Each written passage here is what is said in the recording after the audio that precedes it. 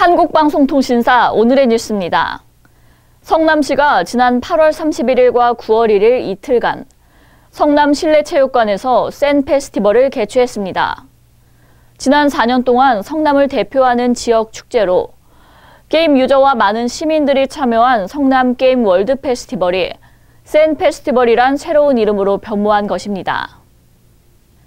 지난 31일 성남 실내체육관에서 개최된 개막식에는 은수미 성남시장을 비롯해 한국모바일게임협회 황성익 회장, 정석희 한국게임개발자협회장 등 여러 게임 관련 단체와 기업이 참여했습니다.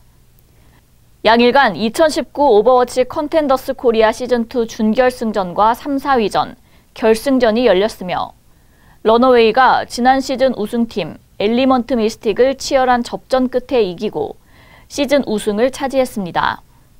또한 벅스뮤직과 함께하는 야외 무대 버스킹 공연, 블리자드의 MD 부스 및 코스튬 콘테스트 등 게임사와 IT 업체들이 참여하는 행사도 열렸습니다. 은수미 성남시장은 개막식에서 전국 게임 기업 가운데 43%가 성남시에 포진하고 있으며 매출은 무려 56%를 차지하고 있다라며 게임을 사랑하는 모든 사람들이 함께하는 센 축제를 계속 즐겨주면 좋겠다라고 말했습니다. 이상 한국방송통신사의 뉴스였습니다.